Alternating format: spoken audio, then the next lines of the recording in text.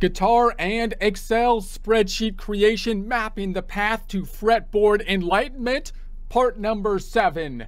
Get ready and don't fret or get bored because using Excel to learn the fretboard is exciting. Here we are in Excel. If you don't have access to this workbook, that's okay because we basically built this from a blank worksheet, but we started in a prior presentation. So if you're starting with a blank worksheet, you may want to begin back there. However, if you do have access to this workbook, we got multiple tabs down below, including the example tab, which is the end result, the finished product, the answer key, if you will, multiple starting point tabs, which represent the starting points that line up to the different sections of video video presentations as we work through the long practice problem and the blank tab where we started with a blank worksheet and are continuing with the project at this point in time quick recap of what we have done thus far. We started out thinking about the musical alphabet in letters A, A sharp, B, C, C sharp, D, uh, D sharp, E, F, F sharp, G, and then it starts, and then G sharp, and then it starts over again. It's difficult to actually say the musical alphabet, like with the music uh, alphabet song that we're all used to, because the sharps and flats mess it up.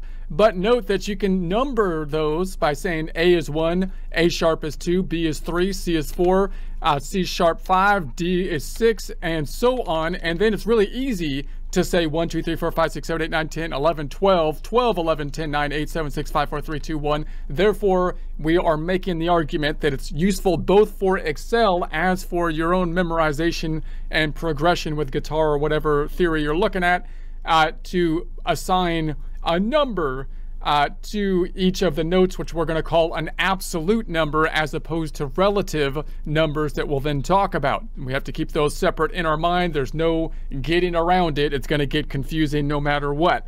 So we're then going to combine those together. So now we've got the number, absolute number, and uh, absolute letter representing a note.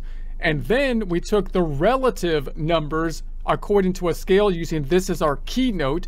This is a 4 representing a C. So the C is usually the first scale people learn because it doesn't have any sharps and flats in it.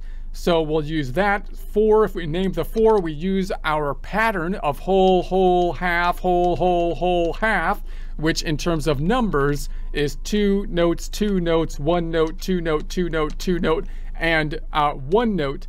And we use that to build our C major uh, scale. So we start with a C, two notes away. Uh, we go to a D, two notes away to an E, two notes away to an F, to a G, to an A, to a B, which happen to all have no sharps and flats. Why? Because we're using the C scale. If we change this, of course, to some other scale, like, uh, like I don't know, a B scale, then we're going to have a whole lot of sharps and flats that we have to deal with over here. But from a number perspective, it's quite straightforward, right? If I say, oh, 12, that's a G sharp, that's a scary thing. But it's just a 12, it's just another note that happens to be a sharp or a flat given the nature of how we constructed the alphabet. But we'll go back to a 4 because it has no sharps and flats, and that's usually the starting point that we, we use to build things.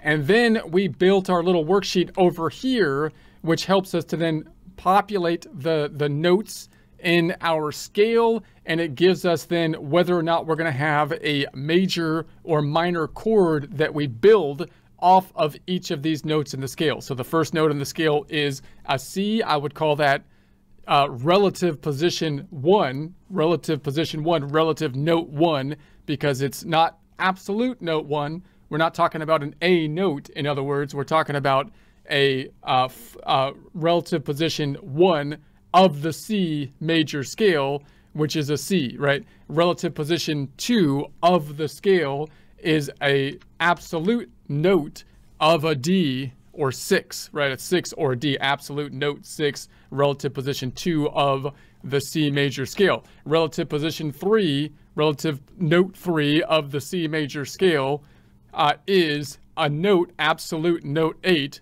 unchanging note eight, uh, or an E. Relative position 4 is uh, note 9 or F. Relative position 5 of the C major scale is note 11 or G. Relative position 6 of the C major scale is note 1 or A, and 7 note 3 or B. It also tells us whether or not we're going to build a major or minor uh, chord around it, which are generally thought of as the first three notes.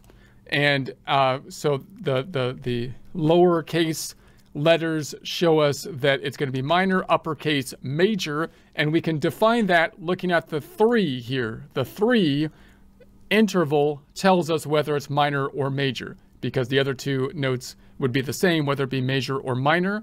And so this interval represents the interval of the first chord, which is a major. The third is four absolute notes away. Four, eight minus four is four. The minors, you could see uh, 9 minus 6, or 6, 2, 9, 6, 7, 8, 9 is three notes away. That's why it's a minor. And so that gives this, this little worksheet gives us a lot of information.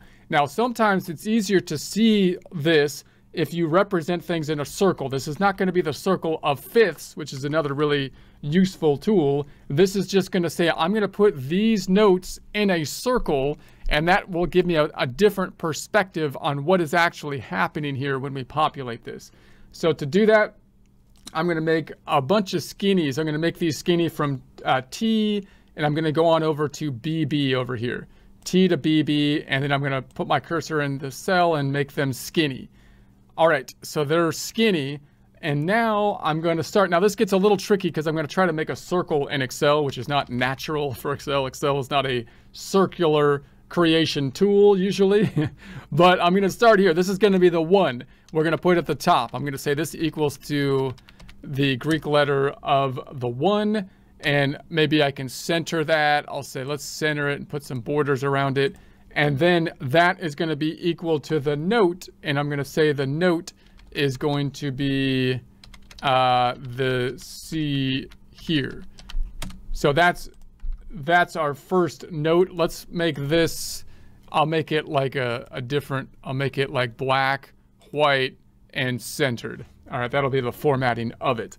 And then I'm gonna go down, uh, let's see, down to like around here. And this is, let's do the here. This is gonna be the two, which is gonna be a minor uh, number, Greek number. And that means it's gonna be the minor. So we'll build, build a minor chord around it, and I'm going to say this is going to be equal to the D, or 6, or D. And I'll copy my formatting, Home tab, Clipboard Format Painter here, and then here, Clipboard Format Painter there. So then I'm going to say the next one, let's put it down here. Let's put, let's do this one first. This is going to be the, the Greek 3, and this is going to be the related note, which is an E there. Let's copy the formatting up top, Home tab, Format Painter, and put that here. And then we'll go boom, boom, right there, let's say. This is going to be equal to the 4. And then we'll say the relative note is an F. Actually, let's put the relative note above it this time on top. And so I'm going to say the relative note is this F sharp. And then let's copy this formatting here, and then I'll copy this formatting there. And then over here, we've got the five, and then up top, or we're gonna put the relative note, and then I'll copy this format, home tab, clipboard format painter there. And then we're gonna be on this side. We'll say this is gonna be equal to the uh, 6 and equal to the note, which is going to be uh, 1A. And then I'm going to say, let's copy the formatting of this one here and copy the formatting of this one there. And then this is going to be equal to uh, the 7 and we're going to say that will be the B. Okay, so there it is. And now I can copy these two and format paint that here.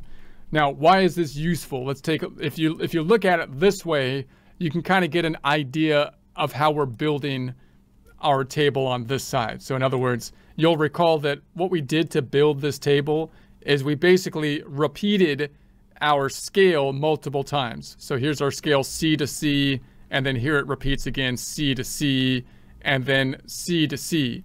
And then we just picked whatever note that we're on and counted up every other note to build the possible chords that we might create.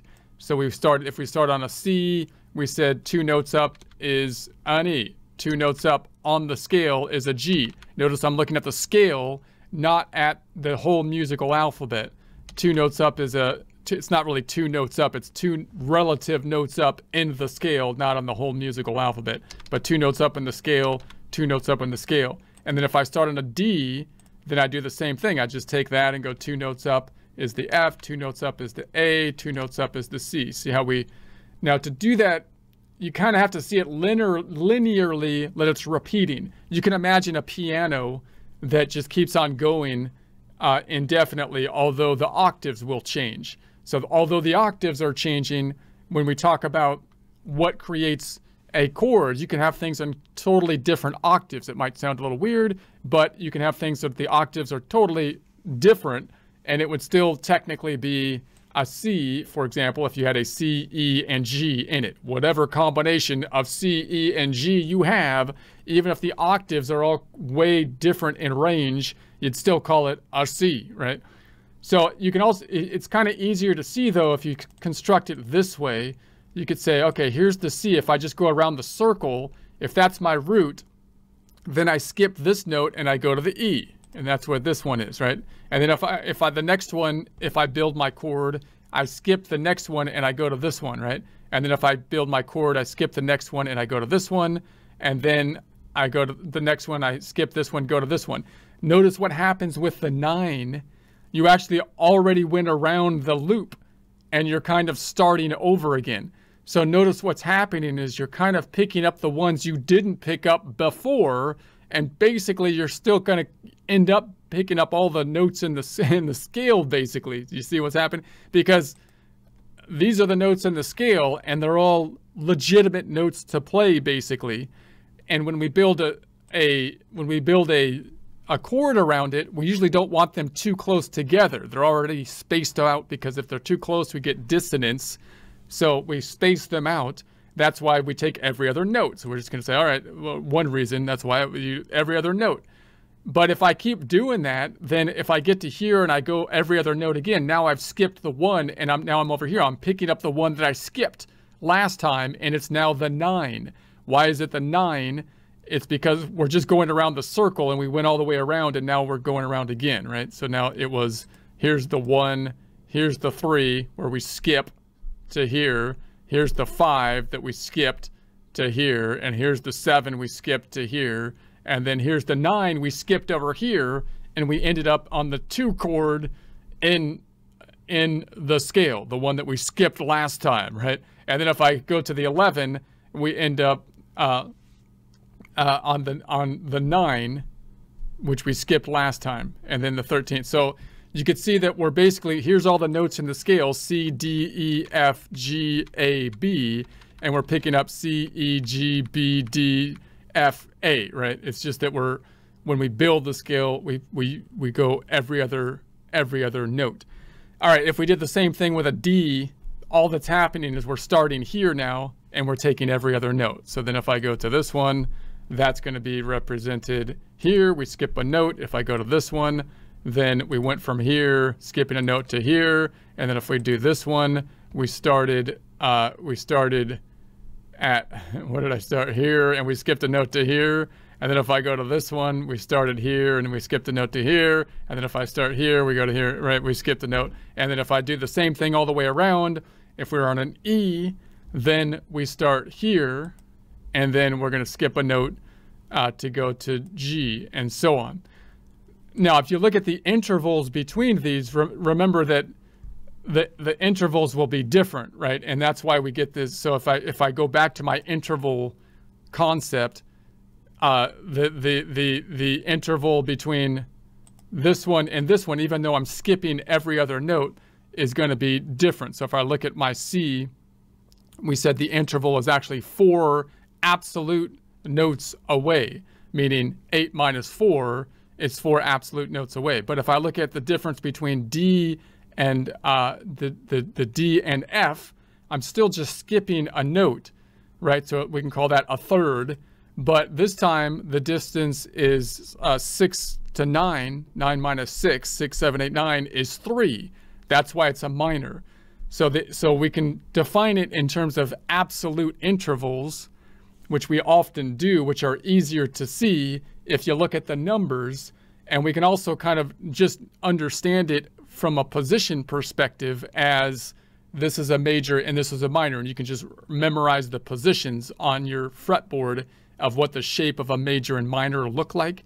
But it's quite useful to also be able to to number it because then you can you can easily find what you're looking for on the fretboard. So so this gives you a nice visualization of how we create how we're creating uh, this item, and instead of having a, a linear progression that you're kind of thinking of in theory as though it goes on to infinity like this, it keeps on like a keyboard that goes on to infinity, and we can just repeat that circle.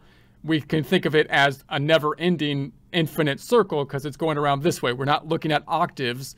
We're just having an infinite circle and we can just keep going around the circle as we create our our notes that are going to be in uh, each of the chords. Now, once we have that, I can copy that same concept up top. So I'm now I'm going to copy from here to here, and then I'm going to say Control C, and I'm just going to copy that same format up top, and it picks up all the relative notes because all of this is geometrically geometrically the same. So I can see it in terms of just numbers if I want to, four representing a C and so on.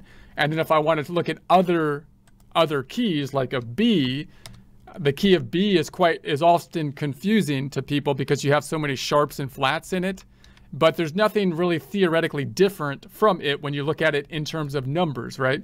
Because if you look at it in terms of numbers, then you have this, it's just another, it's, there's nothing special or different about it. The intervals are the same. If you look at it in terms of letters, wow, this looks, this looks intimidating because of all the sharps and flats. I've got to know, well, what is, do I call it a sharp or do I call it a flat? Blah, blah. Is it, is it how do I, how do I name this thing that I'm playing? And if I look over here, it looks intimidating.